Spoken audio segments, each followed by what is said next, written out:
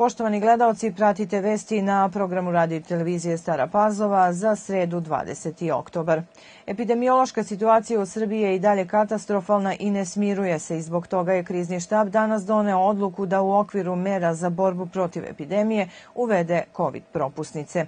Prema poslednjim podacima, koronavirusom u Srbiji je zaraženo još 7745 osoba od 24.984 testiranih uzoraka.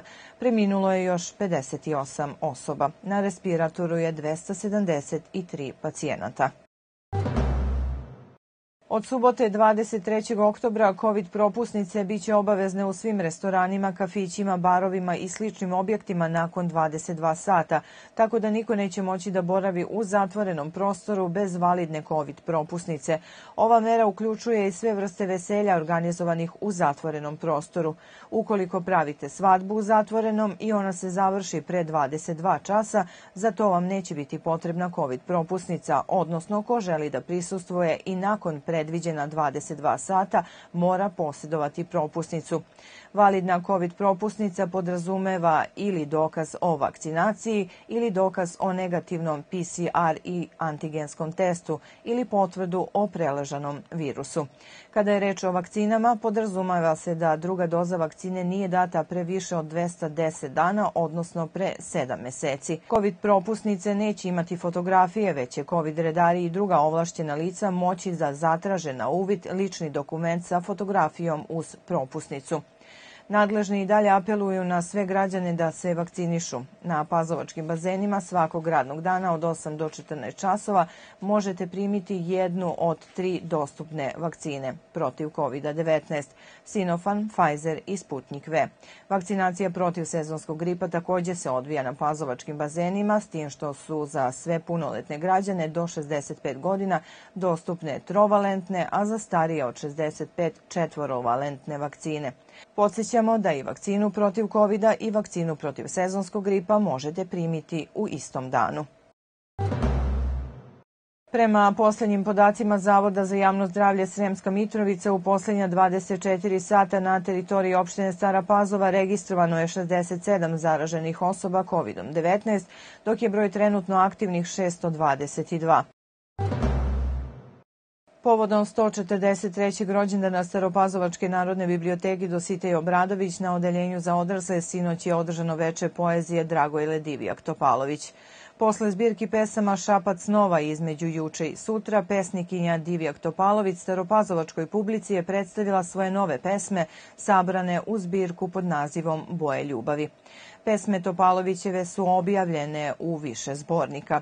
Na velikom pesničkom konkursu Udruženja pesnika poeta na temu Bogojavljanje osvojila je i prvu nagradu. Na sinoćnoj promociji o pesništvu Dragojele Divjak Topalović govorio je književnik i izdavač Veselin Đeletović, dok je odabrane stihove čitala glumica Teodora Kušić. Juče su počeli radovi na rekonstrukciji krova na kući Narodnog heroja Janka Čmelika u Staroj Pazovi u okviru projekta Pazova kuća za nas, konzervacija, restauracija i revitalizacija kuće Janka Čmelika u Staroj Pazovi, sedište muzejske zbirke. U pitanju je projekat sa kojim je opština Stara Pazova u saradnji sa turističkom organizacijom opštine Stara Pazova konkurisala na javnom konkursu za finansiranje i sufinansiranje projekata u oblasti zaštite i očuvanja kulturnog nasleđa u autonomnoj pokrajini Vojvodini u 2021. godini kod pokrajinskog sekretarijata za kulturu, javno informisanje i odnose sa verskim zajednicama i koji nadležni sekretarijat je podržao sa 1.780.380 dinara. U okviru rekonstrukcije uradit će se zamena krova na kući, na pomoćnom objektu, kućici u dvorištu i na Kotobanji, a radovi bi trebalo da budu završeni u narednih nekoliko dana dana.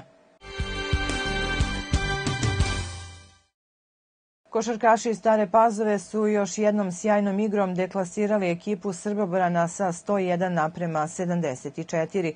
Ovo je treća pobjeda u nizu i povratak na prvo mesto na tabeli. Ekipa Stare Pazove sledeću utakmicu igra protiv ekipe Srema i Sremske Mitrovice u subotu 23. oktobra od 19 časova u Hali Park.